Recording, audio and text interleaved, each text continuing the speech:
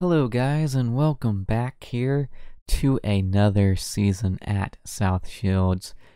We will be kicking off our second season here in the championship. We will be taking on Brighton to kick it off. But of course, before we get into that, let's go over the players that have left the club and the players that have joined the club, and we'll go over the preseason and how I think the season will go for us this year. So let's just go over here to the players that have left the club. Starting off, Craig Guteridge has been sold to Crewe Alexander for $40.5 thousand. Craig was going to be our third choice striker, and instead of keeping him around, I decided to move him along um, as I felt that was the right thing to do. No reason to be paying him to sit in the reserves and have him complain about not getting first team football. So, with this time with us, he made 92 appearances and getting 34 goals along the way. He was fantastic for us a couple seasons ago when he had 38 appearances and 20 goals back in League One. Uh, and then the next year he kind of dropped off just a little bit. Um, in the season we got promoted from League One, and then last year in the championship he only had four appearances, and then we loaned him out for the second half of the season. So, good luck to you in your future, Craig. Good luck at Crewe. You'll be back in League One where you had good times before. Maybe we will draw Crewe in a cup match or something and have a return to Mariners Park for him. Next up, Ben Fox has been loaned out to Macclesfield. Ben is one of our Youth Academy products. He made three appearances for us um, and loaned out to Gateshead the second half of last season. And we're going to loan him out for the entire year this season. Macclesfield are down in the National League. It'll be good for him to get experience and he's also been capped at the under 19 level for Ireland. Hopefully, he will move up to the under 21s this year and get some more international experience. And then lastly, we just loaned out Ben Wagstaff. He is loaned out to Lincoln City. I believe they are in League Two. Yes, they are in League Two. Ben was going to be our third choice inside forward on the left hand side. Uh, so we decided to loan him out for the year instead. Uh, depending on how he develops, it might be his last season with the club, but that depends on his development while at Lincoln City, as he's still a young player at 21 years old. So we'll see how that goes. And switching over to the players that have join the club, we have Rosario Gasco joining us from Arsenal on loan. He is going to be our starting left hand side inside forward. He looks to be a very good young player. He was with the U19 Italian team and the U19 European Championship in the summertime, so he hasn't had a lot of preseason action for us but he looks like he's going to be a key player for us this season. Next up, we have Gordon Barras. He is our backup left back this season. He has some very good physical and mental attributes, and his technical attributes are fairly decent as well. Uh, as mentioned, he will start off as our backup. Miles Kinlock will be our starter to begin the year but that could all change depending on how his performances are this season. And then lastly, we have Curtis McPartland. He is a backup center back. He is a young 19 year old who we picked up on a free. He spent the beginning of his career at Dungannon in Northern Ireland. Uh, I believe he will be getting called up to the U21s for the Northern Ireland international team this year, and hopefully we can help him progress and develop a little bit. Uh, and he should be getting some game time this season, as he is a fairly good young looking young player. And then we will take a look at the players that we have released from the club. Uh, nothing really to note for us this year. Just some young youth academy players. Sam Richards, he did make two appearances for our first team a couple years ago when we had some injury crises. He had one appearance in the National League and one appearance in League One. Uh, we also, Neil Thorwell had a couple appearances as well, another left back. He made one appearance in the National League and one appearance in League Two. He was our very first academy player that appeared for our first team. Unfortunately, he never really developed. He was unambitious, so he never really developed like we would have liked. So, hopefully, he can have a change in his personality and get picked up by a club and make something of himself. That is our team news, at least for now. I am looking at a couple of players potentially to get in on loan, but we will have to see how that pans out.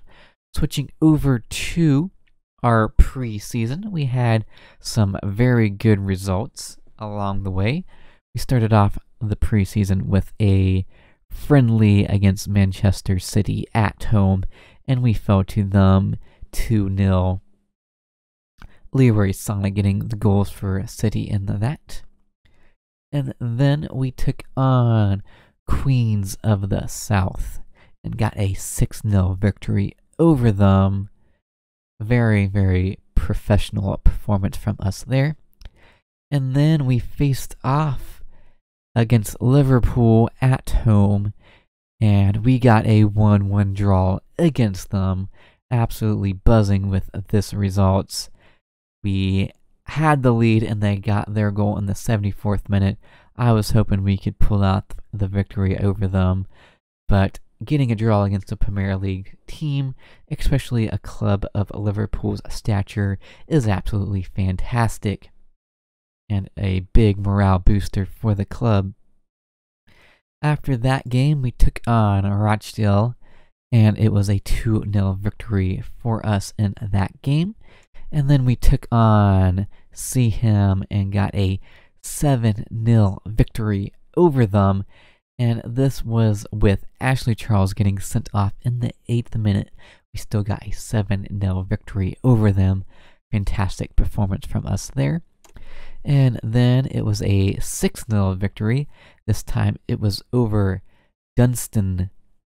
And then we took on a, another Premier League side, I believe.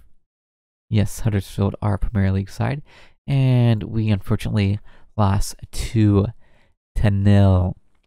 But it was a very hard fought match, and we certainly made them earn their victory in that. And then our final preseason game was a 5 1 victory over Morpeth Town. So we had a fantastic preseason. The players are in high spirits to kick off the season, and we are looking to open up with a victory over Brighton today. So, season preview we are projected to come in 23rd place, just one place above Salford. Of course, I believe that was the same exact projection last year, and both of us definitely overachieved. We barely missed out on the playoffs, and they came like mid table, 15th, so just below mid table, but we've been overachieving together for years, and I'm confident we will not be relegated this year, and hopefully we can sneak into the playoffs this season. Um, we've definitely added to our squad and we haven't lost anyone. So hopefully we can make that step up And hopefully Salford can step up along with us, as it has been fantastic to see a club joining our journey along the way. So, taking a look at the team who will be starting today. In goal, we have Callum Burton. Left back is Miles Kinlock. Our center back partnerships today is Owen Nuga and Udasina. Mark Taylor has joined us for another season on loan, but he does have a knock, and so he will not be starting. He will be on the bench. Right back is Daly Campbell. Our center midfield duo is Adam Good and Ashley Charles. And attacking midfielder today is Fletch Sharp as Dean Hunt is suspended for this game after getting a red card at the end of last season. Our left inside forward is Gasco, and our right sided inside forward is Ian Carlo Poveda, who is our most capped player for the club now. He actually took that record over from Jonathan Flatt, who is still with the club. And our striker for today is McGowan. So without further ado, it is time to kick off the season. We are away at Brighton. It looks like a packed out Amex Stadium today. It should be a fantastic atmosphere. Let's see if we can get these three points. We've started off the past seasons very well. Hopefully, we can continue that today.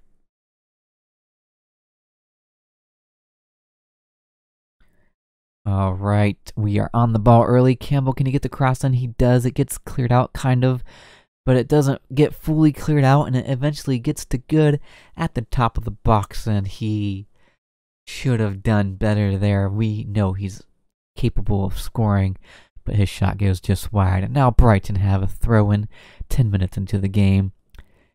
It's an own goal. Oh, we actually get extremely lucky. They get called for offsides. Ooh, yes. Thankfully, it is offsides because Oweniga has put that into his own goal. see if we can uh, step up here a little bit. Brighton are on the ball once again, and I'm a bit nervous as they look like they are hungry for a victory today. And how is that? A corner. Definitely looked like they kicked that out off of their challenge, but looks like we cleared out the corner and we survive and we are not on the ball. We throw it away off of our throw in and they're through on goal and Ko Dong Jin opens up the scoring for Brighton. Ah, not a good start for us here. Kinlock, you gotta throw it in better. Odesina misjumps that, and their player is through on goal. Ah, not a great start for us. And this is always going to be a tough game for us as Brighton were relegated from the Premier League last season, so they have immense quality and they almost get their second, but Burton comes up with a big save, but they're on the ball outside of our box, looking dangerous trying to look for a breakthrough, but we eventually clear that out. But once again, Brighton are on the ball. Can we get on it? We do get on the ball here. Ashley Charles plays it up to Poveda. Charles back on the ball, plays it over to Gasco, and he opens up his goal scoring for the club on his debut. Absolutely took that incredibly. Charles sees him making that run. He gets past the right back and he fires it home first time on his left foot. Very good goal from Gasco. That is what we want to see from the young player. We're on the ball once again. Gasco plays it over to Charles. Can he get a shot off? He does. And that one goes wide. I thought that one was going to ripple on the back of the net but it doesn't this time. but we've definitely come to life here after conceding, and that is the response we were looking for. Poveda beats his man and he's cutting inside, but he gets tackled. He probably should have passed it there. Now, Brighton are looking to counter us. And, jeez, Burton mistimes his jump and completely misses the ball.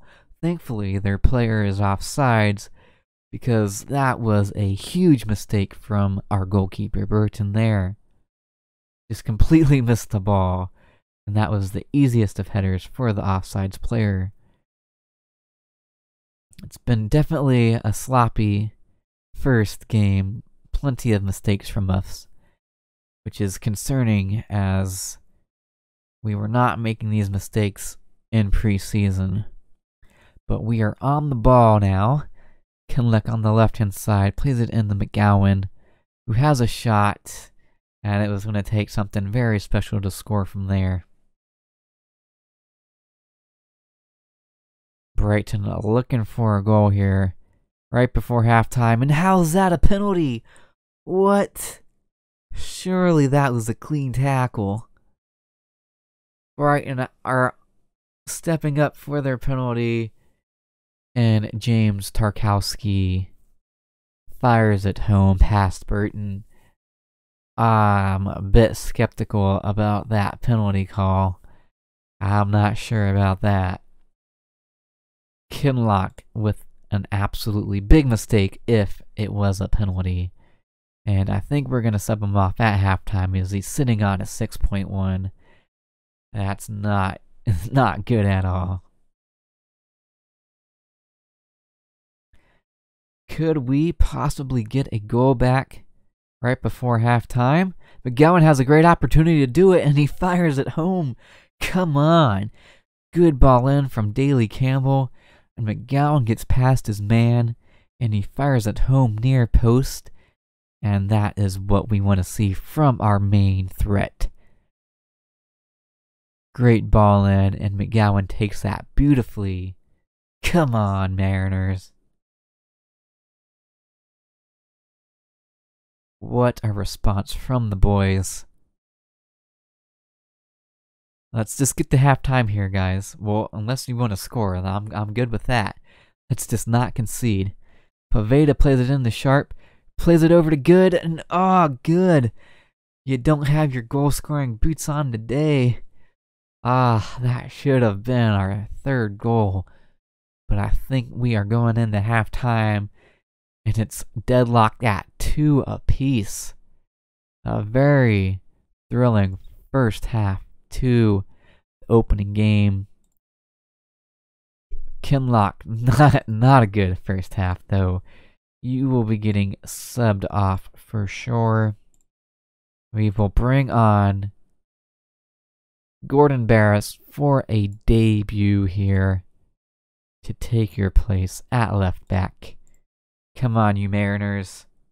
Let's see if we can get the victory here definitely some promising stuff from us, also some very concerning stuff from us. But we are on the ball off of a throw in. Ah, oh, good.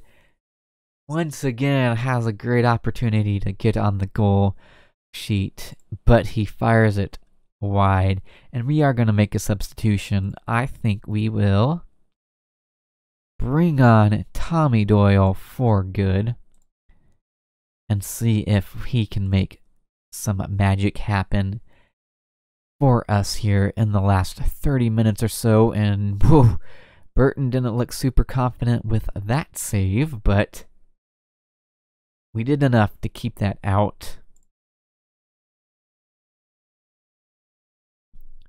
And Brighton with a corner now. Oh, Barris clears it off the line.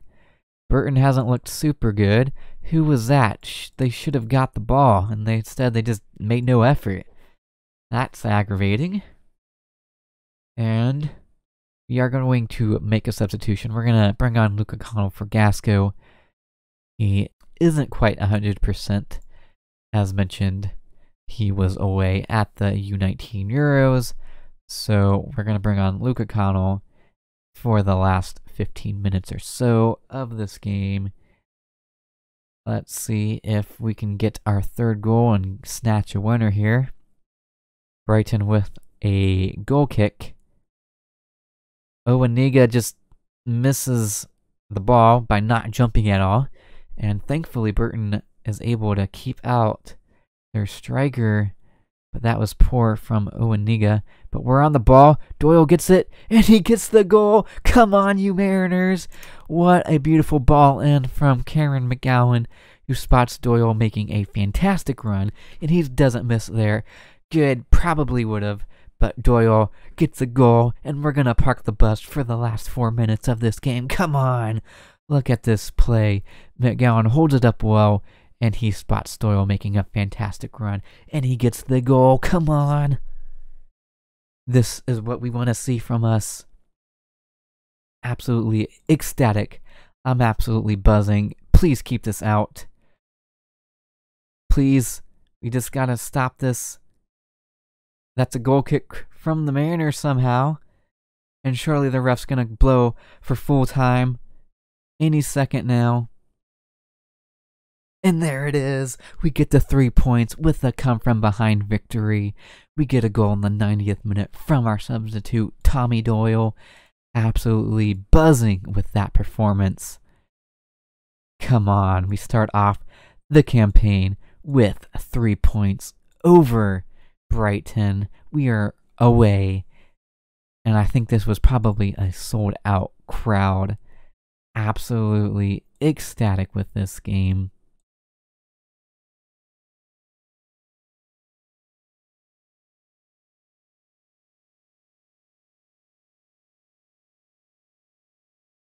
And there it is, the league table after one game, sitting on three points. Salford are also on three points. So, how about that, media predicting both of us to get relegated? But absolutely over the moon with that performance. So, that is where this episode will be coming to an end. And I can already see where we'll be coming back for next episode. We will come back for our match against Salford as tradition will have it. But guys, please be sure to leave a like and subscribe if you are new around here, and make sure you hit that notification bell so you know when I post a new video. Until next time, it's been your Boyd147.